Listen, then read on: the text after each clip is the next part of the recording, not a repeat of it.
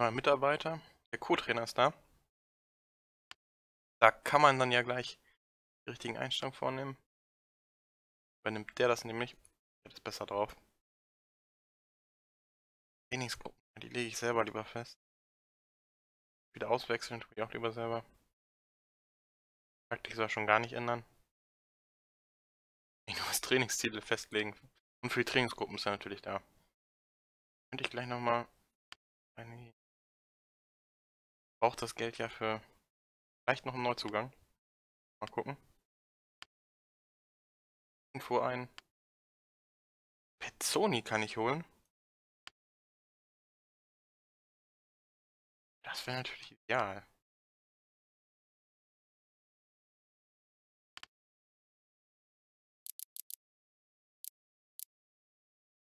Und das passt schon.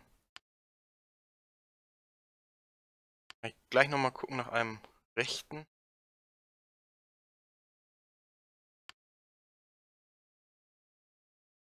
Drei Sterne. Hm. Er kann halt noch kein Deutsch. Ich werde ihn verpflichten. Wäre schon eine Verstärkung, Mika. Hm.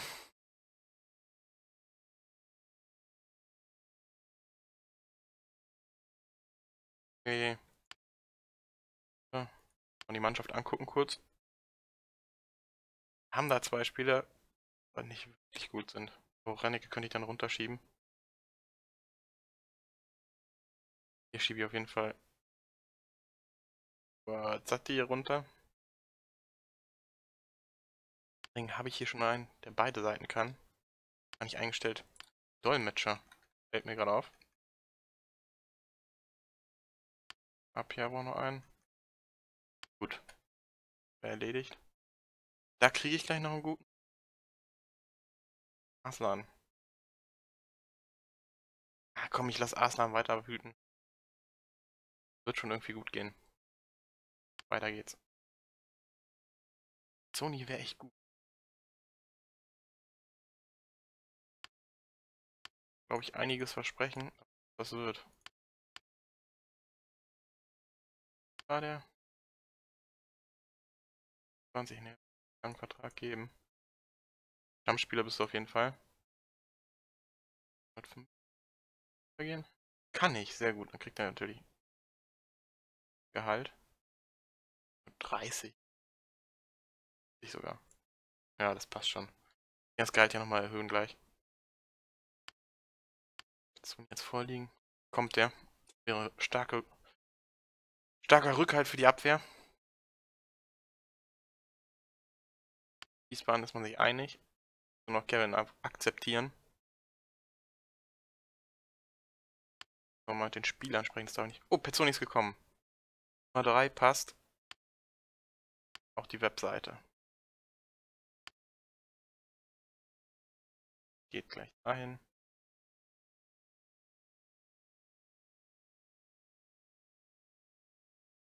Ja, Falkenberg brauche ich eigentlich.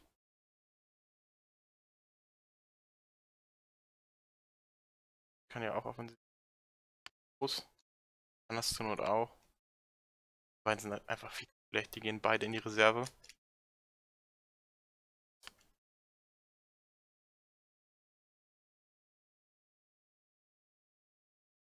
Spielergespräche sind noch dran. Du musst auch stärker werden.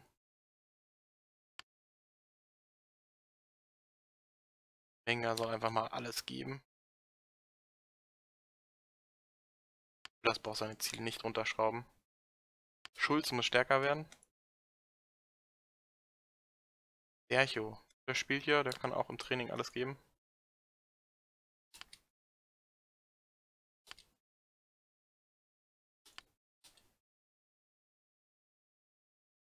Gib einfach alles Hohenstedt. Weiter geht's.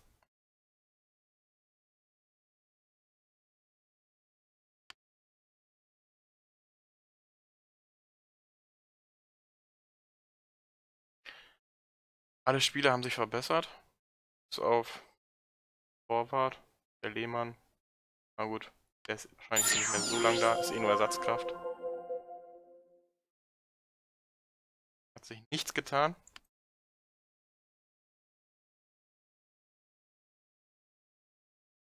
Wäre natürlich toll, wenn wir uns so einen kriegen könnten. Aber ihn darf ich ja gar nicht verpflichten, weil er hat zu viele Sterne. Hofer könnte ich verpflichten. Nett. Man da rankommt.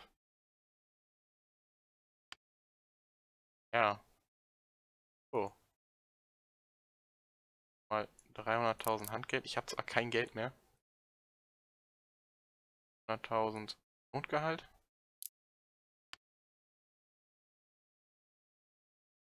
Gib mir mal einen Jugendver... Ah, darf ich nicht. Na gut, dann wird das nix. Schade. Einem Spiel aber auch souverän gewonnen haben. Ist in der ersten Liga aus. Dortmund hat nochmal ordentlich Geld ausgegeben. Leipzig muss ich glaube ich strecken, wenn die in der ersten Liga bleiben wollen. Liga an, wir haben die ältesten Kader und die negativste Bilanz. Ja, an der älteren Kader müssen wir vielleicht was tun. Ein paar aussortieren. Und die stärkste Mannschaft mittlerweile. Gut. Der erste Spieltag. Auf geht's. Mannschaft steht soweit. Mal gucken, ob wir mit den Leuten reden können. Ja. Gespräche führen. Noch ein bisschen Ton. Verbringt Bonus, als dass man es nicht machen sollte.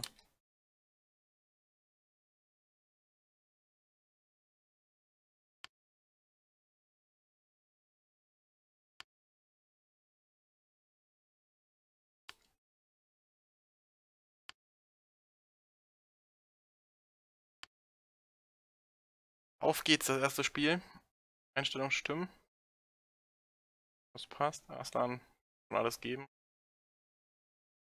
Taktik passt. Der erste Spieltag. Was sagen wir der Mannschaft? Wir können das gewinnen.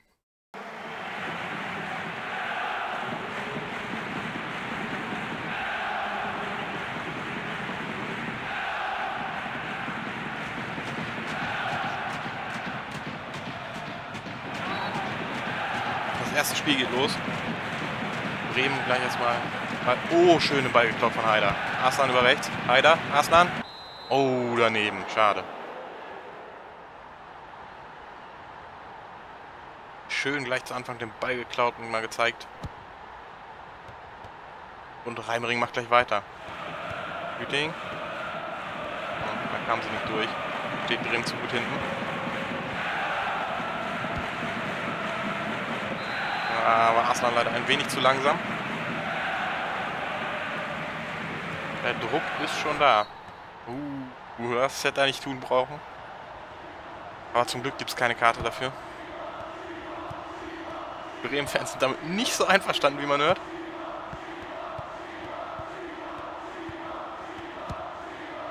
Aslan, schöner Pass auf Reimering, auf die Außen.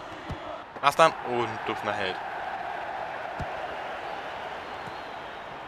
Heider wieder den Ball erobert. Aslan in die Mitte, Reimering, Reimering und... Uh, Aslan. Bisher ist das noch alles ziemlich ungefährlich, was die Osnabrücker da tun.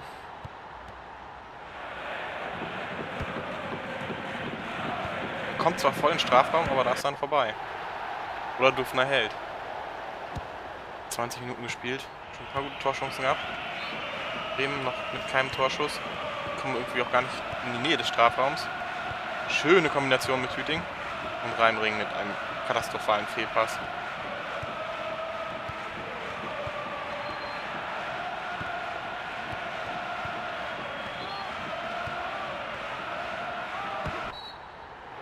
Ah, das Foul hätte er nicht machen brauchen.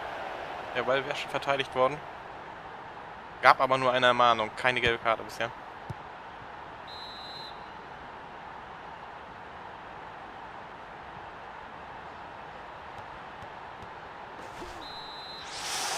Böses Foul auf den Außen. Ob das jetzt die erste Karte gibt? Anscheinend nicht. Die Bremer sind das ganze Spiel am Schieberschrein. Und das erste Gegentor, so ein Mist. Der Tore hat getroffen. Ja, schauen Sie mal, was da auf den Tribünen los ist. Darauf haben die Fans doch gewartet, auf so ein schönes Tor. Das ist unglaublich, wie der diese... Ja, Katastrophenleistung vom Torhüter, das hätte nicht sein müssen.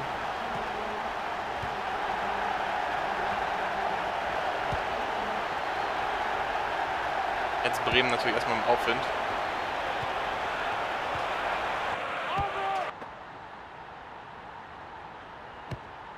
Ein Tor wie aus dem Nichts. Und schon geht gar nichts mehr hier. Was da los? Äh, wird kribbelig jetzt. So schön begonnen, kein Tor geschossen und dann hinten reingedrängt.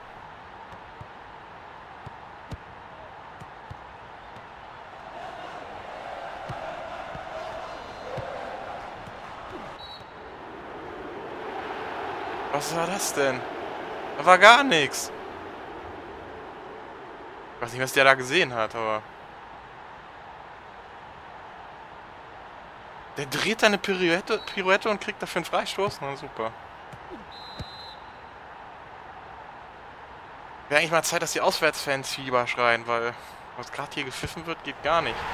Ah, ist das Gegentor. Oh, so ein Mist. Ziemlich unverdient, wie ich finde. Da hält es natürlich keinen mehr auf den Sitzen. Was für Schönes ein Freistoß. Tor. Was für ein Freistoß, kann man sowas trainieren?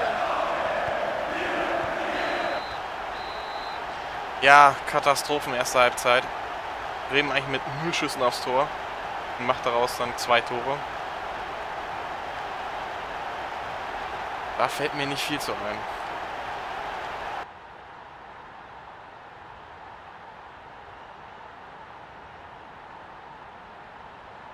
Wenn wir alles in die Waagschale werfen, dann schaffen wir das auch nochmal. Aber dafür müssen sie sich konzentrieren. Wir werden Menge einwechseln, weil Haider ist Katastrophe. Er bringt so gar nichts nach vorn.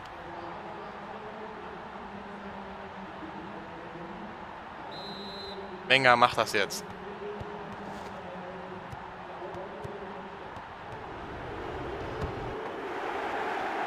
Lufen ist heute richtig gut drauf. Eine schwierige zweite Halbzeit. Da ist das Tor, Menga! Sensationelle Einwechslung. Die hat sich so richtig gelohnt. Ja, das ist Weltklasse Fußball. Was für ein Tor. Jetzt wird es hier nochmal richtig spannend. Schaffen Sie den Ausgleich noch?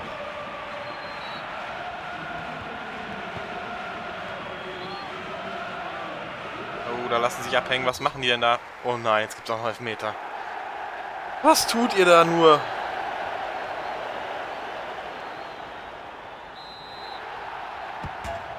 Oh. Ah, so ein Ärger. Haut er den Ball gegen Pfosten und dann schafft er den Nachschuss.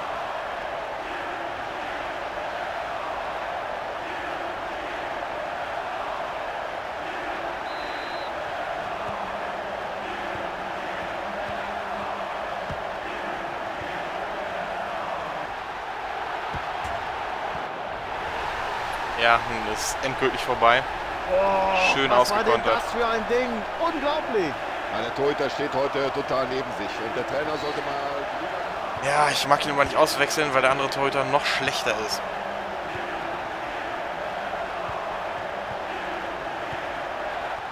Ich hatte Hoffnung, als Menge eingewechselt wurde.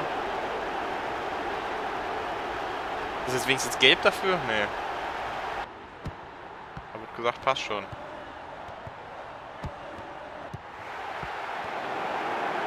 Ja, irgendwie ist halt das, das Scheiße auf den Füßen. So, das müsste uns jetzt... Der holt heute alles raus. Und gegen Pfosten. War so klar. Heute treffen sie das Tor nicht.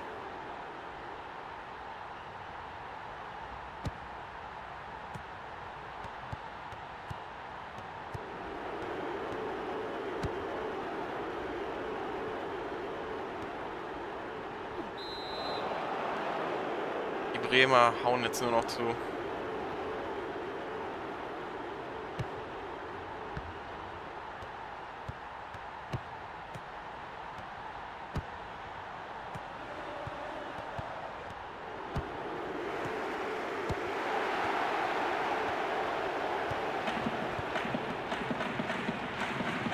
Ah, Jakobsen über außen durch.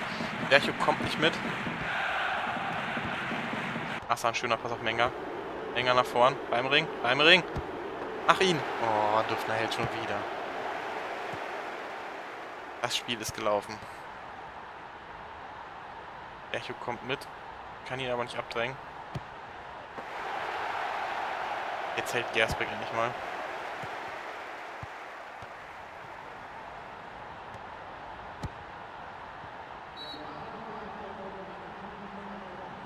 Ja, wir sollten vielleicht auch nochmal wechseln. Ingram in uns guten Spiel. Bei. Das war's.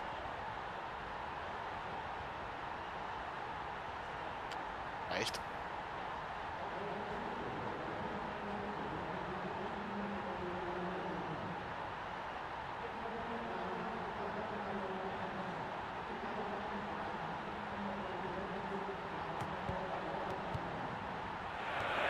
Es war ein klares Abseits und es wird wieder vom Tor. Oh.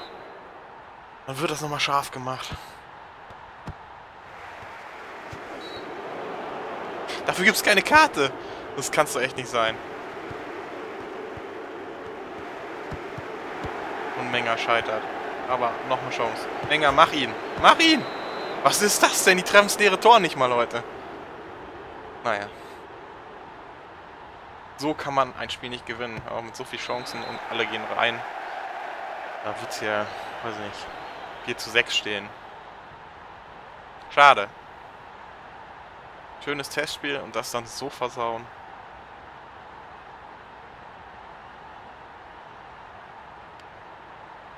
Das muss im nächsten So, Spiel besser doch, werden. äh, eine spannende Partie. Ich hoffe, sie hat Ihnen gefallen und wir sagen Dankeschön und verabschieden uns bei Ihnen. Wir, das sind äh, Sebastian Hellmann und Tom Bayer. Tschüss. Ja, das war Dufner mit der 1, das ist berechtigt. Bester Spieler, was der da rausgeholt hat. Uns zur Verzweiflung gebracht. Ich hoffe, wir sind jetzt nicht letzter deswegen. Nee, 18. Das muss im nächsten Spiel besser werden.